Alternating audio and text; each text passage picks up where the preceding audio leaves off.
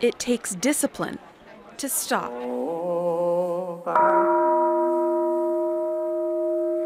To listen, understand, and breathe.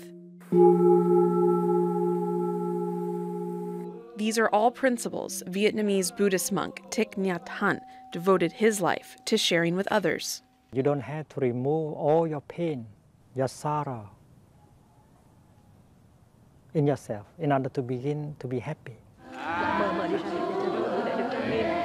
Much of his work came to be known as mindfulness and helped place him on an international stage, able to influence world leaders in global politics.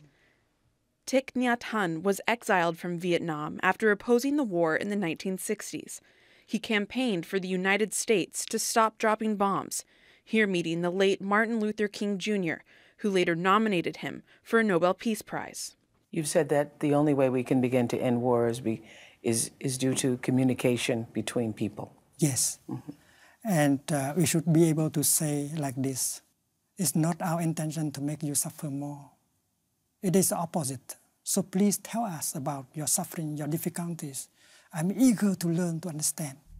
Mindfulness has fast become a pillar of the more than $5 trillion wellness industry. Many major companies like Google have adopted his practices as a way to keep employees happy. We don't need to buy an air ticket, uh, a train ticket to go home. We need to ride on our in breath, mindful in breath and out breath in order to go home. Monks all over the world have gathered to pay homage to one of their greatest leaders, a man devoted to listening, breathing, and letting go.